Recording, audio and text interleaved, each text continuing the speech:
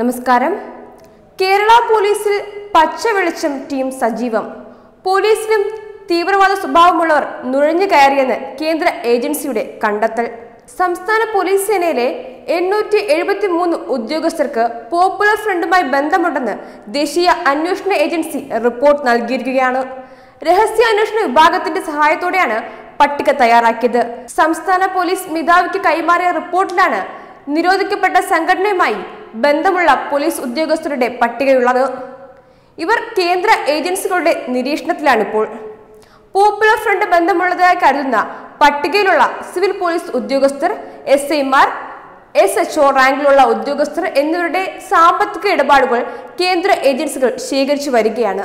സംസ്ഥാന പോലീസിലെ special branch intelligence law and order വിഭാഗങ്ങളിൽ പ്രവർത്തിക്കുന്നവരും ഉന്നത ഉദ്യോഗസ്ഥരുടെ ഓഫീസ് ചുമതല വഹിക്കുന്നവരുമാണ് കേന്ദ്ര ഏജൻസികളുടെ നിരീക്ഷണത്തിലുള്ളത്. സംസ്ഥാന പോലീസിന്റെ നീക്കങ്ങളും പരിശോധനകളും അടക്കം ചോർത്തിക്കൊടുത്തു എന്നതടക്കമുള്ള ആരോപണങ്ങളാണ് ഇവർക്കെതിരെ ഉള്ളത്. പോപ്പുലർ ഫ്രണ്ട് നിരോധനത്തിന് ശേഷമുള്ള ഹർത്താലിൽ K S R T C bus കത്തിച്ചുവരെ പോലീസുകാരൻ സഹായിച്ചു എന്നതിനെതിരെ ഗൗരവത്തോടെയാണ് പോലീസ് കാണുന്നത്.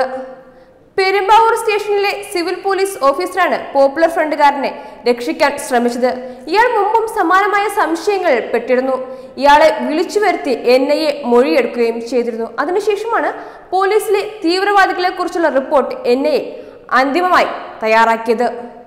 കേരളത്തിലെ നേതാക്കളെ കൊലപ്പെടുത്തുന്നതിനായി തയ്യാറാക്കിയ ഹിറ്റ് ലിസ്റ്റിൽ പിന്നിലും ചില പോലീസ് സഹായങ്ങൾ ഉണ്ടായിരുന്നു എന്നാണ് വിലയിരുത്തൽ. പോപ്പുലർ ഫ്രണ്ടിനെതിരെ കേന്ദ്ര ഏജൻസികൾ നടത്തിയത് ഓപ്പറേഷൻ ഒക്ടോപ്പസ് എന്ന പദ്ധതിയായിരുന്നു. അതീവ രഹസ്യമായി ഇത് നടപ്പാക്കി. വിവരം ചോരാതിരിക്കുക എന്നതായിരുന്നു ഇവരുടെ ലക്ഷ്യം. പിന്നീട് പോപ്പുലർ ഫ്രണ്ടിനെ നിരോധിച്ചു. ഇനി ഇവർക്ക് സഹായം ചെയ്തവരെ കണ്ടെത്തുകയാണ് കേന്ദ്ര ഏജൻസിയുടെ ലക്ഷ്യം. ഇതിനുവേണ്ടിയാണ് ഇപ്പോൾ നടക്കുന്ന ഈ അന്വേഷണം. ഓപ്പറേഷൻ ഒക്ടോപ്പസ് അടുത്ത ഘട്ടത്തിലേക്ക് കടക്കുകയാണെന്നാണ് ഇതിന്റെ സാരം. പോലീസ് സേനയിൽ പോപ്പുലർ ഫ്രണ്ട് അനുകൂല വാട്സപ്പ് ഗ്രൂപ്പ് കണ്ടെത്തിയത് മുമ്പ് ചർച്ചയായിരുന്നു. എന്നാൽ ആർക്കെതിരെയും നടപടി വന്നിട്ടില്ലായിരുന്നു. ഉന്നത ഇടപാടിലായിരുന്നു ഇതിനുള്ള കാരണം. Adoor K A P third battalion ക്യാമ്പിലെ ഇരുപതിലേറെ പേർ അടങ്ങുന്ന പോലീസുകാരാണ് പച്ചവെളിച്ചം എന്ന വാട്സപ്പ് ഗ്രൂപ്പിന് നേതൃത്വം നൽകിയതെന്ന് വാർത്തയും ചർച്ചയായി. അഭിലാഷ് റിയാസ് അനസിലാൽ നിജാമുദ്ദീൻ നിസാമുദ്ദീൻ എന്നിവർ അടങ്ങുന്ന പന്ത്രണ്ട് പോലീസുകാർ എയർപോർട്ട് ഡ്യൂട്ടിക്ക് നിർബന്ധം പിടിച്ചതിൽ ദുരൂഹത തോന്നിയ battalion A G Shefin Ahammed cyber സെല്ലിനും രഹസ്യാന്വേഷണ ഏജൻസിക്കും വിവരം നൽകി. തുടർന്ന് അന്വേഷണ ഏജൻസിയുടെ പരിശോധനയിലായിരുന്നു വിവരം സ്ഥിരീകരിച്ചത്. രാജ്യസുരക്ഷയ്ക്ക് ഭീഷണി ഉയർത്തുന്ന തീവ്രവാദ പ്രവർത്തനങ്ങൾക്ക് നേതൃത്വം നൽകുന്ന ഇത്തരക്കാർ സംസ്ഥാന പോലീസിൽ തന്നെ കടന്നുകൂടിയിരിക്കുന്നതാണെന്ന ആശങ്ക വലിയ ചർച്ചയാവുകയായിരുന്നു. എന്നാൽ ആരും നടപടി എടുത്തിരുന്നില്ല. ഇതിനിടെ കഴിഞ്ഞ ഫെബ്രുവരിയിൽ തൊടുപുഴ മേഖലയിൽ കരിമണ്ണൂർ പോലീസ് സ്റ്റേഷനിൽ നിന്ന് ആർ എസ് എസ് നേതാക്കളുടെ വിവരങ്ങൾ പോപ്പുലർ ഫ്രണ്ടിന് ചോർത്ത് നൽകിയ സംഭവത്തിൽ സിവിൽ പോലീസ് ഓഫീസറെ പിരിച്ചുവിട്ടിരുന്നു. മൂന്നാർ പോലീസ് സ്റ്റേഷനിൽ സമാന ആരോപണത്തെ തുടർന്ന് എസ് ഐ അടക്കം മൂന്ന് പേരെ സ്ഥലം മാറ്റിയിരുന്നു. ഇത് പച്ചവെളിച്ചം ഇൻഫാക്ട് ആയിരുന്നു. ഈ ഗ്രൂപ്പിലുള്ള പോലീസുകാർ എല്ലാം കേന്ദ്ര ഏജൻസിയുടെ നിരീക്ഷണത്തിലാണ് ഇപ്പോൾ. പോപ്പുലർ ഫ്രണ്ട് നേതാക്കൾക്ക് കേസ് അന്വേഷണത്തിന്റെ വിവരങ്ങൾ ചോർത്തു നൽകിയ രണ്ട് രഹസ്യാന്വേഷണ ഉദ്യോഗസ്ഥർക്കെതിരെ വകുപ്പുതല നടപടി നേരിടേണ്ടി വന്നിരുന്നു. കോഴിക്കോട് ബി ജെ പി പ്രവർത്തകനെ വധിക്കാൻ ശ്രമിച്ച കേസിൽ പോപ്പുലർ ഫ്രണ്ട് നേതാക്കൾക്ക് വിവരങ്ങൾ ചോർത്തു നൽകിയ പോലീസുകാരെ മലപ്പുറം എം എസ് പി ക്യാമ്പിലേക്ക് മാറ്റി. ഏലിയറമല സംരക്ഷണ സമിതി വൈസ് ചെയർമാനും ബി ജെ പി പ്രവർത്തകനുമായ കെ കെ ഷാജിക്ക് നേരെ രണ്ടായിരത്തി പത്തൊമ്പത് ഒക്ടോബർ പന്ത്രണ്ടിന് കൊലപാതക ശ്രമം നടന്നിരുന്നു. ഓട്ടോറിക്ഷ ഡ്രൈവറായ ഷാജിയെ ഓട്ടം വിളിച്ചുകൊണ്ട് പോയി ആക്രമിക്കുകയായിരുന്നു. ഇതുമായി ബന്ധപ്പെട്ട അന്വേഷണത്തിന്റെ വിവരങ്ങൾ പ്രതികൾക്ക് ചോർത്തു നൽകിയ പോലീസ് ഉദ്യോഗസ്ഥർക്ക് നേരെയായിരുന്നു അന്ന് നടപടി വന്നത്. രഹസ്യാന്വേഷണ വിഭാഗത്തിൽ പ്രവർത്തിക്കുന്ന കോഴിക്കോട് വെള്ളിപ്പറമ്പ് സ്വദേശിയായ അസിസ്റ്റന്റ് സബ് ഇൻസ്പെക്ടർ ചാത്തമംഗലം സ്വദേശിയായ സിവിൽ പോലീസ് ഓഫീസർ എന്നിവർക്കെതിരെയായിരുന്നു നടപടി. ഷാജിയെ ആക്രമിച്ച മൂന്നംഗ പോപ്പുലർ ഫ്രണ്ട് സംഘത്തിനെതിരെ അന്വേഷണം നീങ്ങിയ ഘട്ടത്തിൽ ഉദ്യോഗസ്ഥർ പോപ്പുലർ ഫ്രണ്ട് നേതാക്കൾക്ക് വിവരങ്ങൾ ചോർത്ത് നൽകുകയായിരുന്നു എന്നായിരുന്നു ഇവർക്കെതിരെയുള്ള ആരോപണം.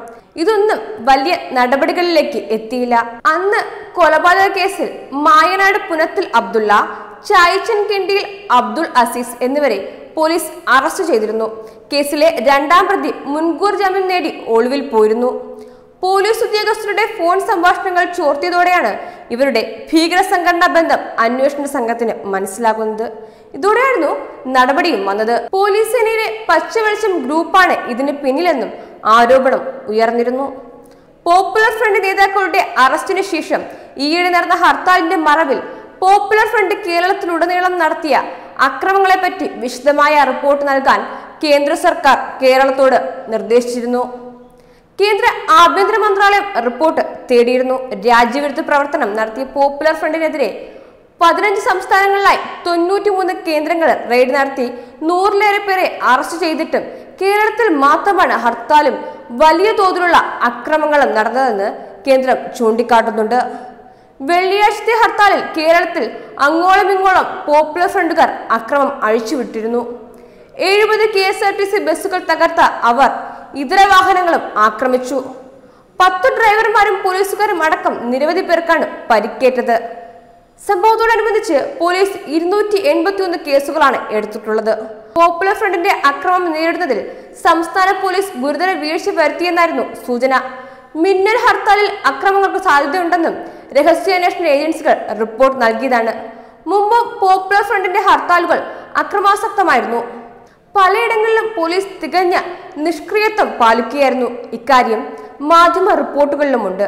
കൺമുമ്പിൽ അക്രമങ്ങൾ നടന്നിട്ടും പോലീസ് ലാത്തിയം തൂക്കി നിൽക്കുന്ന വീഡിയോകളായിരുന്നു പുറത്തു വന്നിട്ടുള്ളത്. ഇതെല്ലാം പരിഗണിച്ചാണ് സംശയമുള്ളവരുടെ പട്ടിക കേരള പോലീസിന് എൻ ഐ എ ഇന്ന് കൈമാറിയത്. Web desk Tatwamayi news.